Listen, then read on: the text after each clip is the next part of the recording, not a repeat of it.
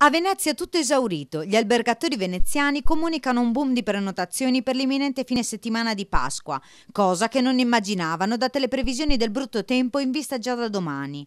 Claudio Scarpa, direttore dell'Associazione Veneziana Albergatori, comunica soddisfatto che la quota di prenotazione solo ad oggi per gli alberghi da 3 a 5 stelle è vicina al 90% delle disponibilità alberghiere e crede che si possa arrivare al tutto esaurito con le prenotazioni last minute, che dovrebbero comprendere gli affittacamere e gli hotel a 1 e 2 stelle. Insomma, splendide notizie se si considera che il ponte di Pasquetta inaugura l'alta stagione a Venezia. Questi numeri, infatti, danno speranza nel settore alberghiero per la stagione 2014, dopo che il settore ha registrato una falsa partenza nel periodo di carnevale. Scarpa sostiene inoltre che questa dovrebbe essere una buona annata sul piano turistico per la città.